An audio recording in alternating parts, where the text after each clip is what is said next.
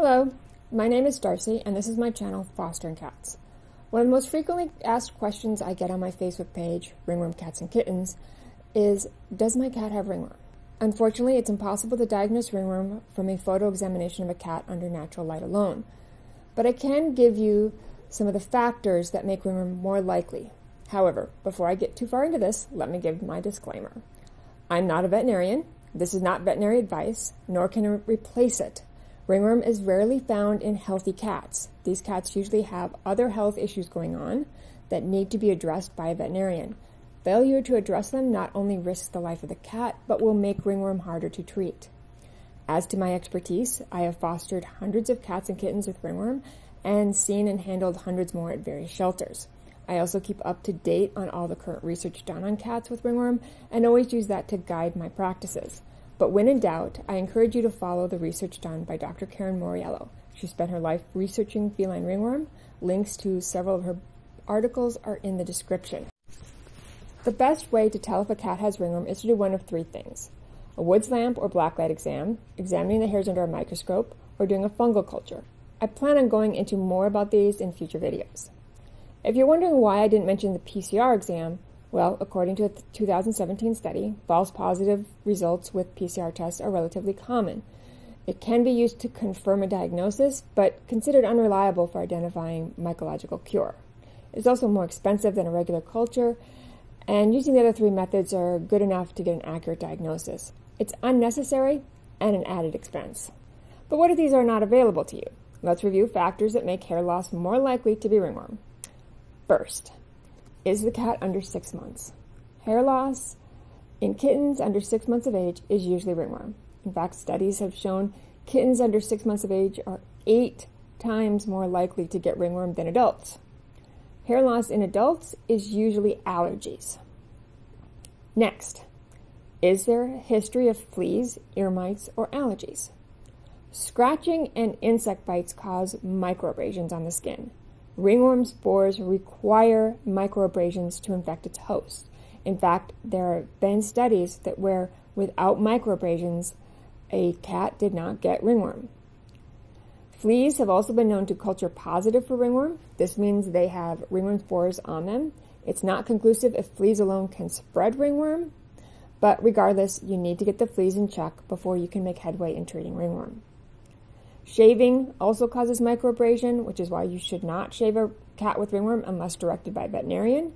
Microabrasions can also be caused by other things, such as scruffing with a glove. Next, does the cat have a compromised immune system?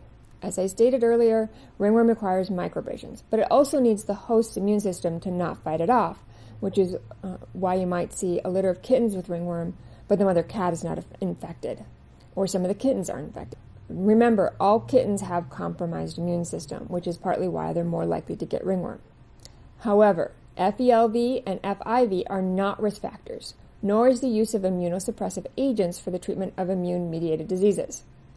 Stress, however, is an issue because stress weakens the immune system, which is partly why cats in shelters are more at risk to getting ringworm.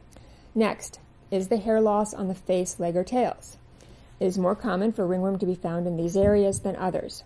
The ringworm pattern is likely to follow the cause of the microtrauma.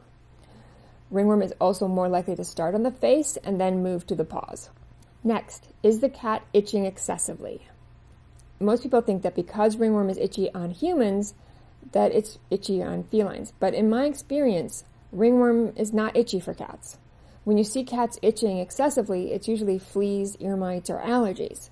Of course, these things make a cat more likely to get ringworm, and you need to get the itching under control, otherwise, the cat is going to keep getting microabrasions and the ringworm will continue to spread. Next, do you see spots of complete hair loss? Technically, ringworm causes hair to break, not fall out, but this breakage happens over a, a spot. Thinning or patching hair is usually not ringworm. Glowing hairs without hair loss is not ringworm. Also, you won't see spots of redness or scabbing with ringworm. So these pictures here are of the same cat with different causes of hair loss. This is my cat Minx. The first picture was while she was at the shelter. She had been misdiagnosed with ringworm, and I took a picture of her ear to show the vet. As you can see, the hair loss is kind of patchy, um, and you see a little bit of complete hair loss at the tip. but there was no glow uh, if you looked at it under black light. She actually had ear mites with a severe allergy to these ear mites. Now, I t- see this kind of hair loss on the ears a lot with ear mites. In fact, I just had a litter of kittens with ringworm and noticed the same hair loss on their ears. And when I looked, they had severe cases of ear mites. Ironically, the shelter that had them had been having difficulty getting them cleared of the ringworm. Once they got the ear mites in check, the ringworm was easier to get rid of. Now, the picture on the right is also of Minx after she got ringworm. Minx is one of the few kittens who got ringworm in my house. I had taken her home as a foster while she was still having issues with allergies and ear mites. And uh, she snuck into my foster room, which happened to have a litter of kittens with ringworm. So she had a combination of having microabrasions plus direct contact with cats with ringworm, and so she got ringworm. But you can see uh, the picture on the uh, on the right is a very different type of hair loss. You see the round oval lesion, and if you look closely at the tip, there's a little patch of uh, ringworm there. Um, and you might not see it, but if you look at these pictures, which are again of minx, um, one and the picture on the right is under black light, you can see additional areas on the ear with ringworm that you might not have noticed under the naked eye, which is why I said at the beginning, you really can't tell if it's ringworm looking at it under natural light. And finally, after all this, what you need to ask yourself is if it's not ringworm, then what is it? Hair loss can be caused by multiple things, uh, including allergies, skin infections, excessive licking and grooming. It's always better if you can't figure out a cause to assume ringworm and treat full body topically while waiting to get a culture back or see the vet. And what does full body topical mean? Uh, lime sulfur dip or microslip shampoo. These things are not going to harm a healthy cat if you do them. Lime sulfur dip, which is my go to treatment, will not harm a healthy cat or kitten. It might harm your sense of smell, but it's not going to hurt the cat. Thank you for watching my video. If you like it, please give it a thumbs up. Consider subscribing as I plan on doing more videos on ringworm and other cat fostering related topics. If there's a specific ringworm topic you'd like me to cover, please put it in the comments. If you have any questions or want to reach me, the best place is to go to my Facebook group, Ringworm Cats Again. Otherwise, have a good day.